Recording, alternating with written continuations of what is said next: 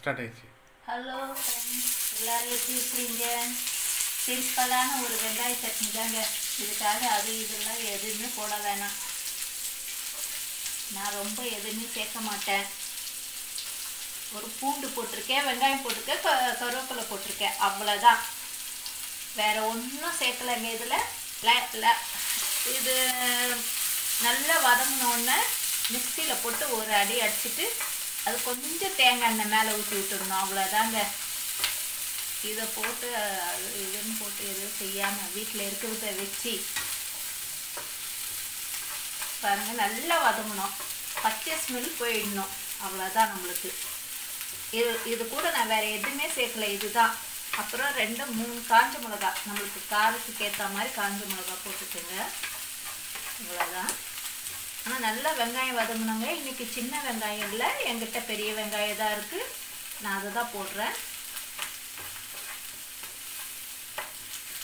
ரொம்ப இல்லாமல் கொஞ்சம் நல்லா நல்லா வதங்கிட்டு தக்காளி கடி எதுவும் சேர்க்கல. ஒரு வெங்காயம் தான் இன்றைக்கி வெங்காய சட்னிக்கு வெங்காயம் தான் சேர்க்கணும். சில பேர் புட்டுக்கல்ல சேர்க்குறாங்க அது சேர்க்குறாங்க. அதெல்லாம் நல்லா இருக்காது. அது வேற மாதிரி இது வேற மாதிரி. நம்ம சிம்பிளாக வீட்டில் இருக்கிறத வச்சு நம்ம செய்கிறோம்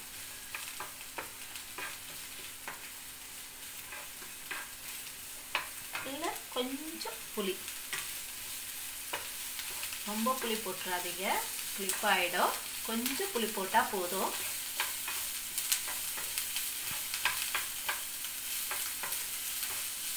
ரொம்ப காஞ்ச மிளகாலாம் போடாதீங்க. இதில் லைட்டாக உப்பு போடுங்க வர அப்போ தான் சீக்கிரம் வதங்கும் நம்மளுக்கு. அவ்வளோதான் லைட்டாக போடுங்க உப்பு. நம்ம வீட்டில் என்ன இருக்குதோ அதை போட்டு செஞ்சாலே போதுங்க. இந்த சட்னி இட்லிக்கு ரொம்ப நல்லா இருக்கும். இட்லி தோசைக்கு தான் நல்லாயிருக்கும் இது. வீட்டில் என்ன இருக்குதோ அதை வச்சு நம்ம செய்கிறோம் பிடிச்சிருந்தா பாருங்கள் லைக் பண்ணுங்கள் ஷேர் பண்ணுங்கள்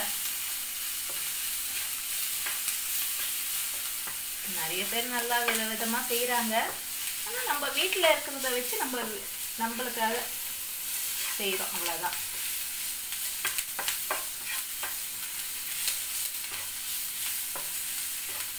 நல்லா வதங்கினாங்க கொஞ்சம் பச்சை ஸ்மெல் போயிடணும். அவ்வளோதான் ஒரு சின்ன துண்டு வெல்லம். அந்த கொஞ்சம் புளிப்புக்கும் அந்த வெங்காயம் புளிப்புக்கும் காரத்துக்கும் இந்த கொஞ்சம் வெல்லம் நல்லா இருக்கும் இதை அரைச்சிட்டு நான் உங்களுக்கு காட்டுறேன்.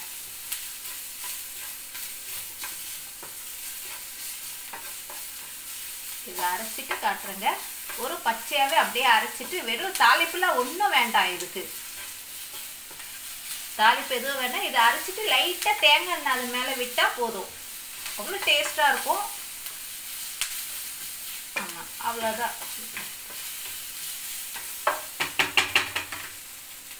இதை அரைச்சிட்டு கொஞ்ச நேரம் ஆறினோன்னு ஃபஸ்ட்டு ஆறினோன்னு இதை அரைச்சிட்டு உங்ககிட்ட காட்டுறேன் பாருங்கள் ஒன்றும் தேவையில்லை. தேங்காய் எண்ணெய் லைட்டாக மேலே ஊற்றுனா போதும் இதில்.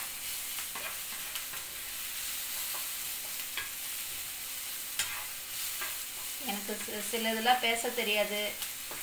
தப்பாக பேசியிருந்தானா தப்பாக நினச்சிக்காதீங்க.